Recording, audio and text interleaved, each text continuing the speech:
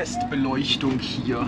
Also das Video heißt ja mit dem Zug durch Marokko und deswegen wollen wir euch hier direkt einmal zeigen, wo wir hier jetzt gelandet sind. Das ist unser Zweier Schlafwagenabteil. Richtig, richtig deluxe. Das sieht super, super cool aus. Aber da kommen wir erst quasi am Ende des Videos hier an. Nämlich ist das hier der Nachtzug von Usta nach Casablanca und jetzt geht es erstmal los in Fez.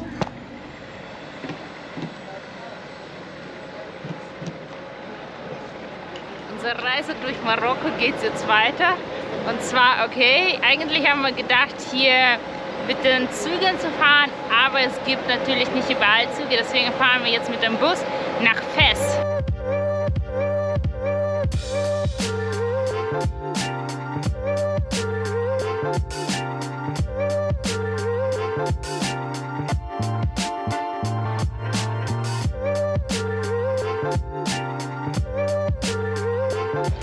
So, jetzt sind wir in Fes angekommen und jetzt haben wir die große Aufgabe, in der Altstadt unser Hotel zu finden. Denn äh, die Altstadt von Fes ist irgendwie eine der größten oder sogar die größte Altstadt der Welt. Also es ist wirklich riesengroß. Glücklicherweise unser Hotel ist hier ziemlich am Anfang. Das sollen eigentlich nur sechs, sieben Minuten zu laufen sein. Äh, wir schauen mal, ob wir es finden.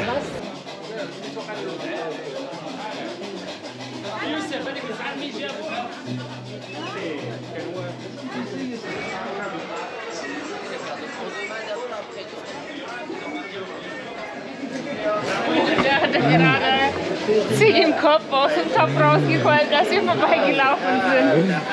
Boah. Bei mir funktioniert der GPS nicht. Hier habe ich das markiert.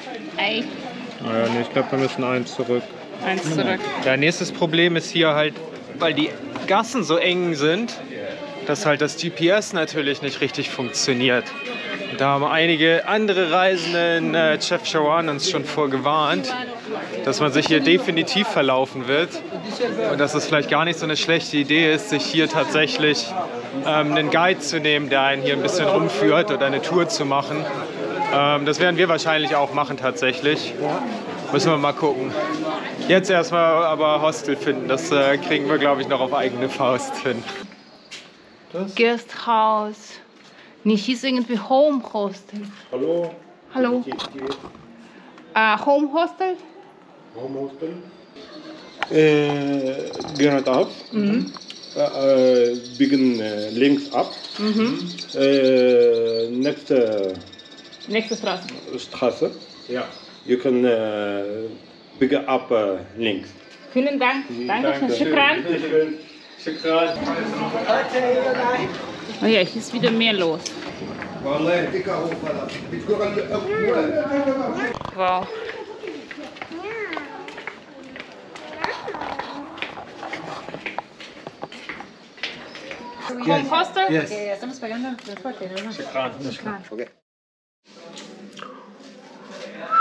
So, gefrühstückt. Und jetzt geht's los in die Stadt. Und wir machen eine Free Walking Tour.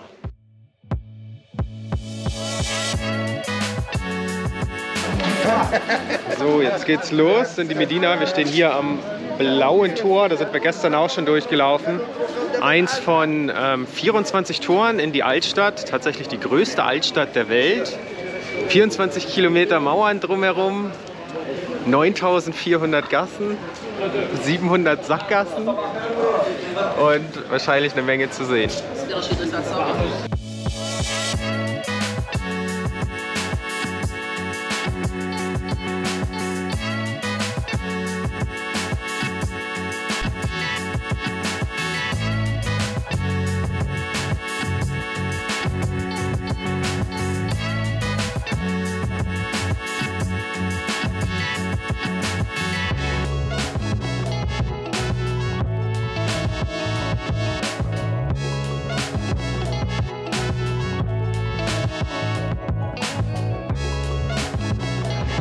Hier ist jetzt das alte Tor, was quasi dann im 14. Jahrhundert ausgedient hatte, weil dann die Stadt quasi größer wurde. Also bis jetzt waren wir quasi im Teil nach dem 14. Jahrhundert und jetzt gehen wir in den älteren Teil hinein.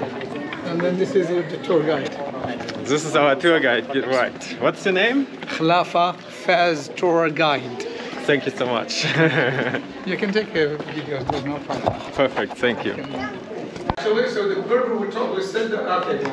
Also das sind die Straßenschilder hier. Das steht halt hier auf jeder Straße immer oben auf Arabisch, dann auf Berberisch und dann auf Französisch. Also wenn die Schilder diese Form haben, ist das eine Sackgasse. Da vorne jetzt das nächste Tor und es geht ins 12. Jahrhundert. Also je näher man sich dem Zentrum nähert, desto älter wird das hier alles.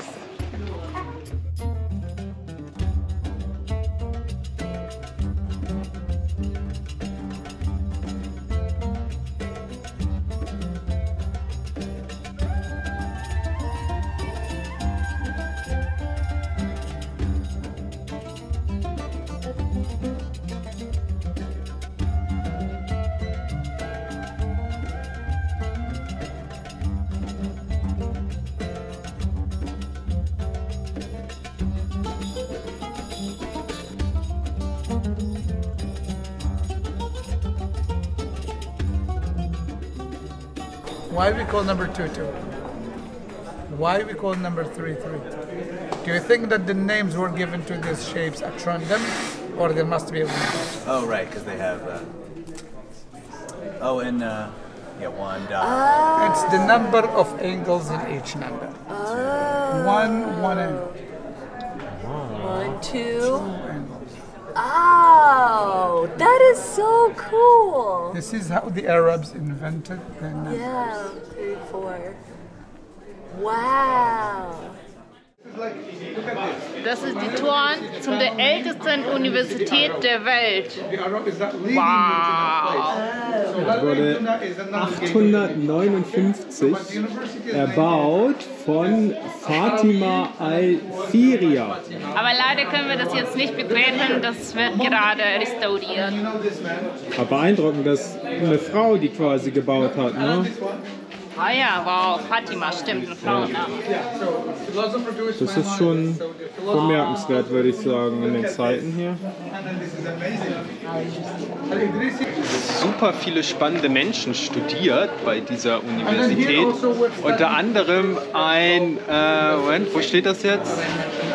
Ein, ein äh, Geograf, der Al-Idrisi hieß. Und das ist der Mann, der die erste Weltkarte, oder, what, what did he make? The first map of the, Of the world. the first map of the world. Al-Idrisi is the person who made the first map of the world.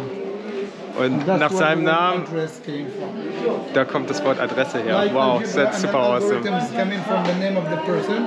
Also, Awesome. So, jetzt gehen wir langsam auf die Gerberei von Fees zu. Das ist, äh, ich glaube, auch eine der ältesten Gerbereien der Welt. Mal gucken, was wir da zu sehen bekommen und vor allem, was wir da zu riechen bekommen.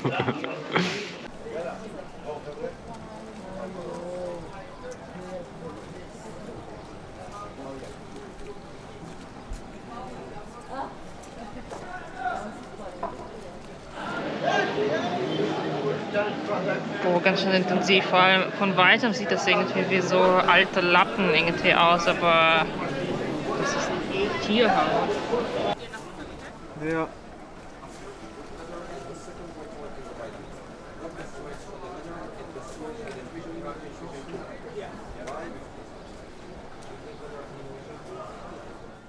Das war unsere Walking Tour mit der Gerberei abgeschlossen. Das war schon uff. Ja, sehr intensiv für uns, muss man absolut sagen. Ansonsten aber definitiv eine sehr spannende Stadt mit den fast 10.000 Gassen. Ja, ja, sehr gut. Hier wird auch fleißig Deutsch gesprochen und hier wird auch fleißig viel angeboten und überall kann man Souvenirs kaufen und so weiter.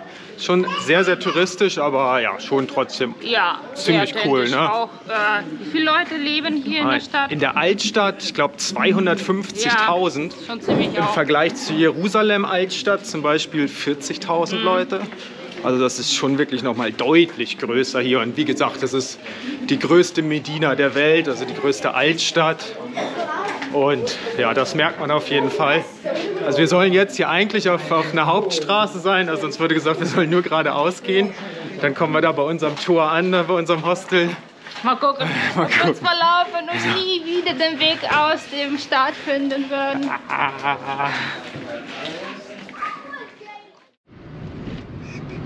Also, jetzt sind wir im Taxi und wir verlassen Fes. Jetzt auf dem Weg zum Bahnhof.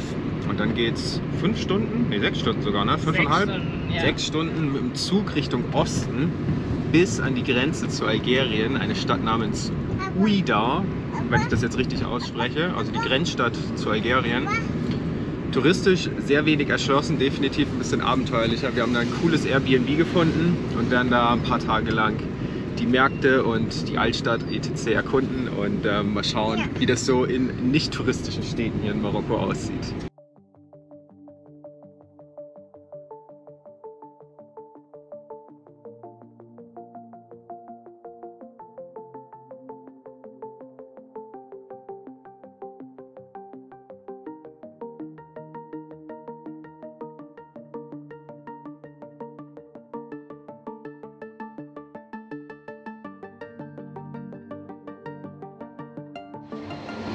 Quasi die ganze Zeit Richtung Osten und das Coole ist, wir fahren quasi genau zwischen dem Riffgebirge im Norden von uns und dem Atlasgebirge im Süden von uns zwischendurch. Und es gibt hier wirklich richtig schöne Ausblicke die ganze Zeit. Schöne Berge, so mediterrane Landschaft. Sehr, sehr nett.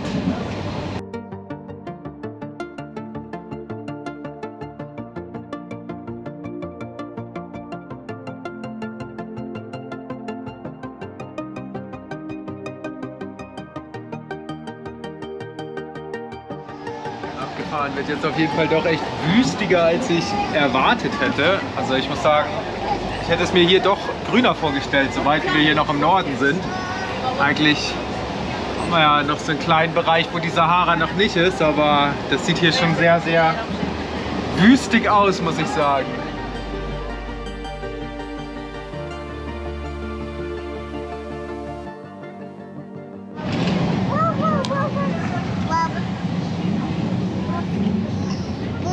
Hier die Kamera rausholen. Papi wollte so schön erzählen, wie du hier bei den anderen Kindern spielst. Dass die Marokkaner ganz kinderlieb sind und sich ganz doll freuen, dich zu sehen. Super gut, hier haben wir so einen kleinen Spielplatz in dem Gang errichtet. Mit ein paar Spielsachen von Olga, äh, von Olga, von Kira und die anderen Kids freuen sich auch alle. Eins, zwei, drei, vier Kinder hier. Super.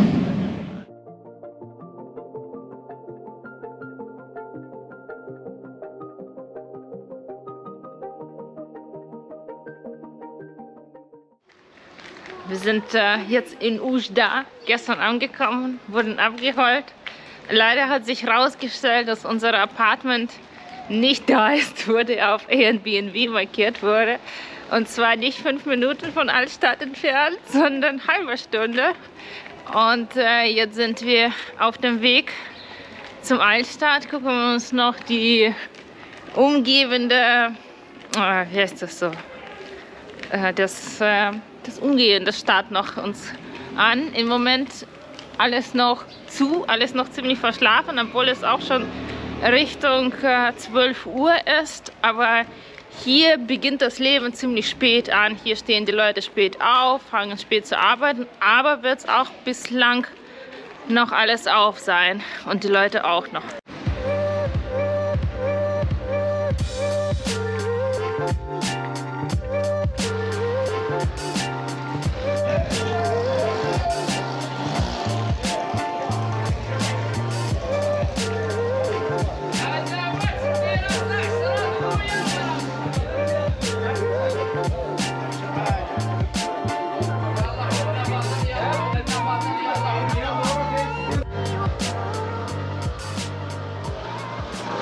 Möchtest du noch einmal zum Zahnarzt? Ich glaube, schön günstig hier zum Zahnarzt zu gehen, zum Glück nicht. Deux americano Oui, deux américains. Oui. Ça y un juice. Un Jus avocat. Oui. Merci. Das ist so ganz dass es ein Juice K ist, aber gucken wir mal.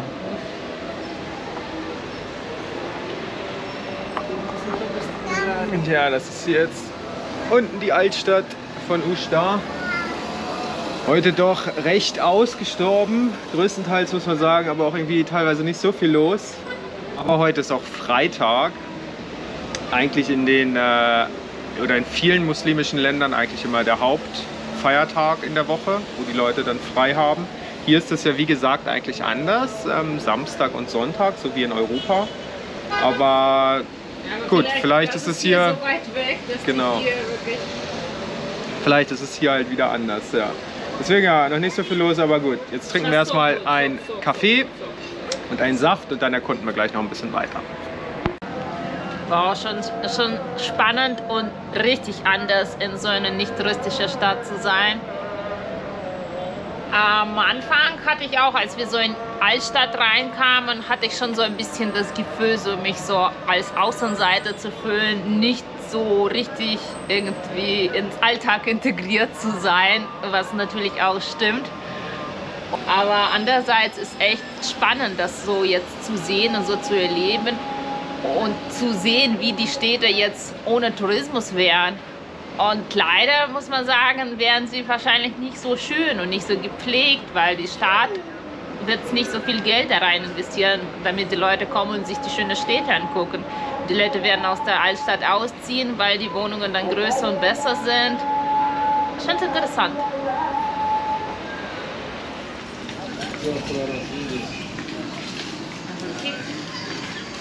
Kekse. Ulala, Kekse und Besten, vorsichtig. Der Westen. Genau. Scheint süß zu sein. Ne, ist auch alles ein bisschen dicht hier teilweise, ja.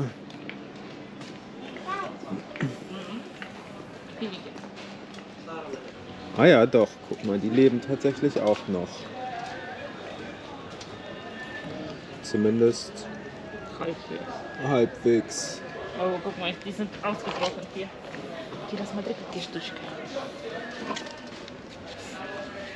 Fahren. Schneckensuppe habe ich einmal in, äh, in äh, Frankreich gegessen, genau. Aber ich erinnere mich nicht mehr, wie das war. Aber no, ich glaube, so schlecht nicht.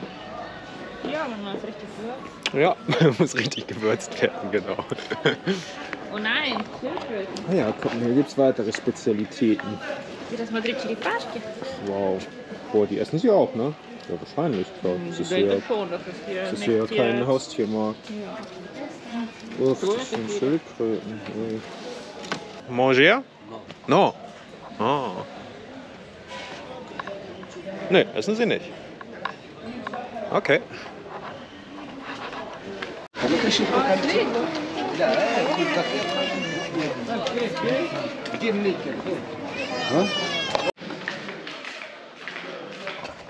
Ja, ist heute also definitiv so sehr vereinzelt geöffnet, beziehungsweise größtenteils halt einfach alles geschlossen.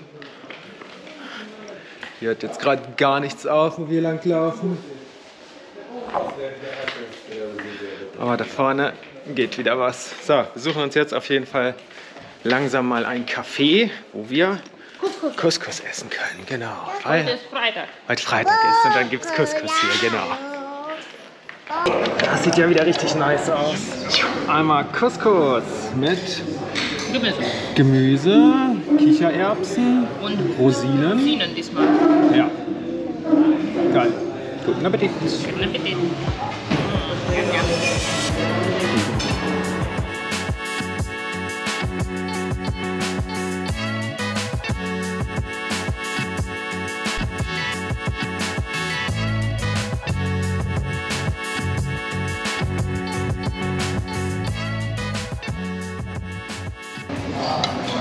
Das war richtig lecker. Alles aufgeputzt hier, zu dritt von einem Teller. Ist auch immer ziemlich spannend. Ganz cooler Laden, sind auf jeden Fall nur Locals hier am Start. Und Freitag halt, wie gesagt, traditionell gibt es in den Restaurants immer den Couscous. Da haben wir auch zugeschlagen. Und jetzt die große Preisfrage, das klären wir gleich. Was zahlen wir dafür? Mal gucken. Okay, genau 50 Dirham bezahlt, was ziemlich genau 5 Euro sind, ein bisschen weniger. Zwei Personen, mm, schon einen kleinen Ticken teurer doch als erwartet. Ja, aber auf jeden Fall günstiger als in Chefchaouen in touristischer Stadt. Da haben Ja. wir so einen doppelten Couscous 90 bezahlt. Ja, ganz klar. 90 sogar. Ja, ja, ja, ja, ja. Geil, das spiegelt sich hier sogar so doll. Ich kann mich hier sogar in der Teekanne hier füllen. Jetzt gibt es noch einen marokkanischen Tee. Mhm. Das ist immer so schwarzer Tee, glaube ich, mit, äh, äh, wie heißt das äh, hier, mit Pfefferminze. Richtig lecker, richtig gut. Dazu gibt es dann hier ordentlich Zucker und immer ein Glas mit Wasser. Ganz wichtig, wenn man in Marokko Tee eingießt, muss man das immer so von oben machen, damit das schäumt. So, damit man hier den guten Schaum hat. Denn man darf einem Marokkaner keinen Tee servieren ohne Schaum, ne? Aber das ist, aber dann, irgendjemand hat uns die Geschichte erzählt, aber dann irgendwie wurden wir unterbrochen und es wurde nicht weiter erzählt. Also den genauen Grund kenne ich nicht, aber so macht man das hier. Ja, und bei Sehr gut. Ah ja, genau. 32 Dirham für zwei Tee und für einen großen Orangensaft für Kira äh, 3,20 Euro. Oder 3 Euro. Ah, ziemlich genau 3 Euro, ja.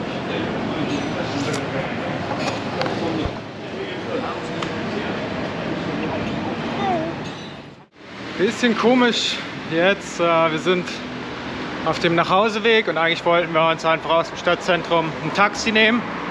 Damit wir nicht wieder eine halbe Stunde laufen müssen, damit äh, Kira auch schnell nach Hause kommt. Aber wir haben jetzt, ich weiß nicht, sechs, sieben Taxen angehalten und denen irgendwie die Adresse gezeigt. Und gut, unser Französisch ist nun wirklich nicht so gut. Also die genauen Gründe können wir nicht verstehen. Aber alle sagen, dass sie uns nicht mitnehmen wollen, dass sie da nicht hinfahren wollen. Keine Ahnung, woran das jetzt liegt, ob das zu weit weg ist oder ob wir kein Französisch verstehen oder ob die Leute uns als Ausländer irgendwie nicht transportieren wollen, wobei ich das ein bisschen komisch fände, weil das eigentlich einfach verdientes Geld ist in meinen Augen.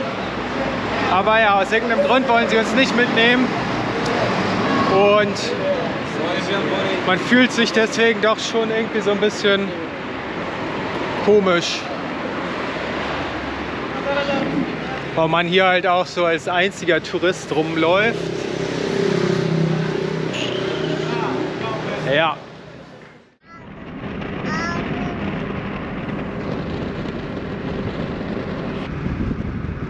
Ja schon gesagt, dass Usch da an der Grenze zu Algerien ist. Und freundlicherweise fahren wir jetzt gerade mit unserem Airbnb-Host äh, mit seinem Auto. Er hat gesagt, er gibt uns eine kleine Tour. Wir haben gesagt, ja, okay, machen wir gerne. Keine Ahnung, wo er äh, oder was er vorhatte. Und ja, wie sich herausstellt, fahren wir jetzt einmal eben zur Grenze. Das sind 15 Kilometer von der Stadt. Und oh ja, ich glaube, da vorne sind wir gleich sogar auch schon da. Wow. Spannender Ort. Can we make photos? That's okay? Or maybe, videos. maybe no? No, no photos. Is, uh, No photos. no photos is Ah, quick. uh, Algeria, Morocco. yeah, Fernet. yeah. For like how no, long? No, uh, Closed. no closed. No. Uh, car. No. Uh, And the- walking? Huh? Walking? No. No. Fermet. Fermi. Like how long? Un, un año, deux. Huh? Belgique and um, and Holland in three. Belgique and Holland in three. Is hier Fermet. Gut, da ist auf jeden Fall die Grenze. Schijn. video, video's. Video's in Verher en Verher. No, no problem. Ja, Okay. okay. Da kommt ein anderer, da kommt der, der Grenzbeamte an. Salam alaikum.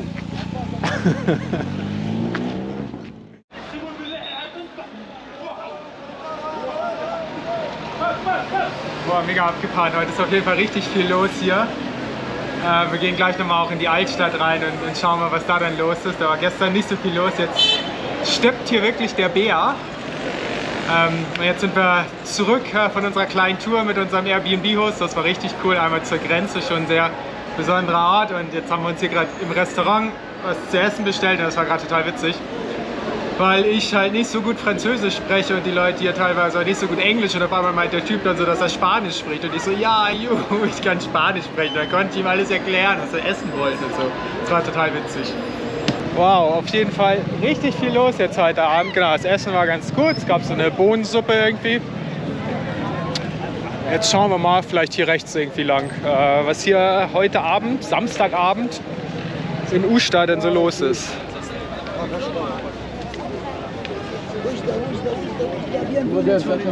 Merci.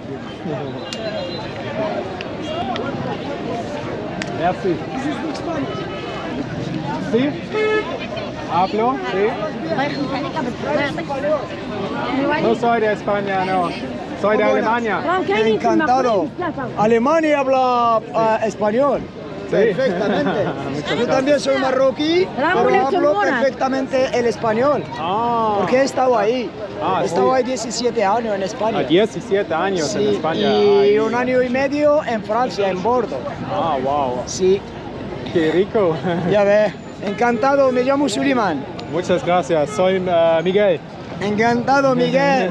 Mucho gusto. Mucho gusto. Nos vemos. hasta luego. Hasta luego. Schneckenauswahl ist auf jeden Fall größer geworden.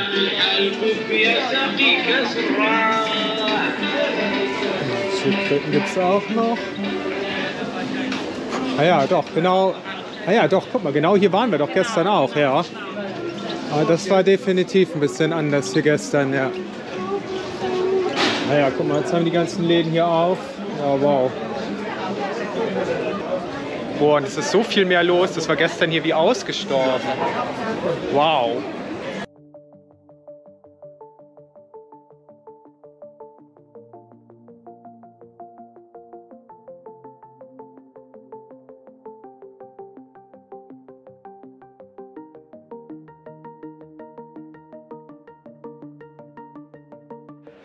Okay, wow. Also hier kriegt man einen fetten Beutel Oliven. Zwei Sorten haben wir jetzt gekauft für 10 Dirham, also für 1 Euro. Also ich glaube, Oliven sind wirklich so ziemlich das günstigste, was man in Marokko kaufen kann. Einfach der Oberhammer.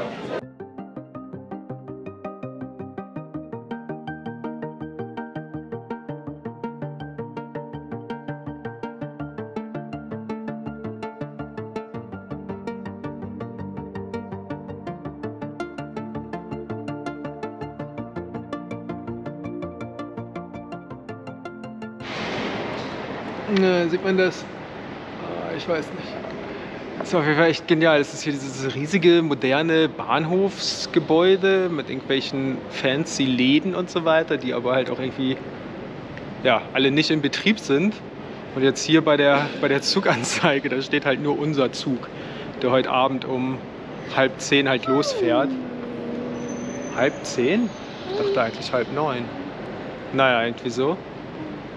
Und jetzt ist es, ich weiß nicht, 13 Uhr oder so ist der einzige Zug, der heute fährt, ne? also, Diese zwei Papierstücke sind jetzt sehr wichtig und kosten jeweils fast 50 Euro, dürfen wir nicht verlieren. Das sind unsere Zugtickets und zwar für den Nachtzug für eine Zweierabteil, wo wir nur zu zweit sind, zu dritt. Zu dritt, zu dritt. Zu dritt. Zu dritt. Zu dritt.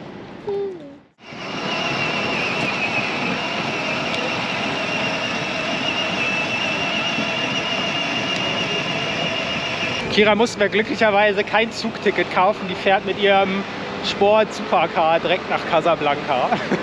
Ich finde das super gut. Da vorne ist jetzt der Typ mit der ähm, Fernsteuerung. Und der fährt Kira hier jetzt so ein bisschen ähm, herum. Hier stehen die ganzen Teile. Das haben wir auch schon in anderen Ländern gesehen. Also in Kirgisistan, in Bishkek habe ich das vor allem, glaube ich, das erste Mal gesehen. Aber ich glaube, mittlerweile gibt es das so gut wie überall in Deutschland. Weiß ich gar nicht genau. Aber an sich finde ich es eigentlich ziemlich cool. Ist halt so auch Sharing äh, Economy. quasi fangen die kleinen Kids auch schon an, äh, ihre Spielsachen äh, zu teilen. Muss man das ganze Zeug nicht selber kaufen, weil genau solche Autos habe ich auf jeden Fall in Israel gesehen, dass die äh, Eltern da mit ihren Kids da an der Promenade rumfahren. Wow. Und dann hat ein Kind ein so ein Teil. Also das ist ja nun wirklich absolut bescheuert.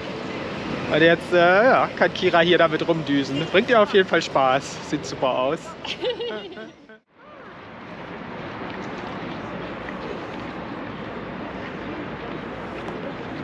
Sieht ziemlich spacig aus hier. 21,35. Okay, wir sind wieder beim Bahnhof und schauen mal, ob unser Zug schon da ist. Wir sind ein bisschen früh tatsächlich da. Dreiviertel Stunde früher, typisch deutsch natürlich. schauen wir mal, ob wir schon in den Zug reinkommen. Das ist wie gesagt ein Nachtzug jetzt nach Casablanca ähm, für 10 Stunden. Ja, ungefähr, ne? 10 Stunden und dann fahren wir von Casablanca direkt weiter mit einem normalen Zug nach Marrakesch. Das ist jetzt unser nächstes Ziel. Usta auf der einen Seite natürlich echt interessant gewesen. Ähm, schon ja, spannend durch die Altstadt gelaufen, so ein ganz quasi natürliches Marokko gesehen, so ein alltägliches Marokko, halt so wie ja, die Locals hier halt tagtäglich leben, ohne halt den Einfluss von großen Touristenmassen, wie es halt in Chefchaouen oder in Fes ähm, natürlich war. Auf der anderen Seite natürlich dadurch auch ja wirklich gar keine touristische Infrastruktur, halt Probleme gehabt mit den Taxis und so weiter. Also natürlich auf der einen Seite dann auch abenteuerlich und ja, also es hat alles immer dann seine Vor- und seine Nachteile. War auf jeden Fall sehr, sehr interessant hier zu sein. Ich glaube, drei Nächte waren wir jetzt hier, wenn mich nicht alles täuscht. Heute ist Sonntag und jetzt geht es dann mit dem Nachtzug und weiterem Zug nach Marrakesch. Insgesamt äh, wahrscheinlich 13, 14 Stunden Reise. Wir fahren wirklich aber komplett ans andere Ende von äh, Marokko runter nach Marrakesch und ja, bin super gespannt, was uns da erwartet. Salam. Salam. Merci.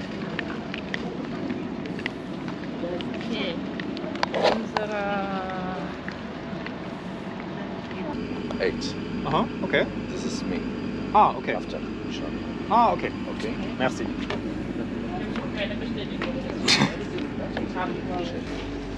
Oh, schön frische Luft hier drin. Ziemlich gut. Ja, wow. Unsere Kombüse hier. Ui, cool.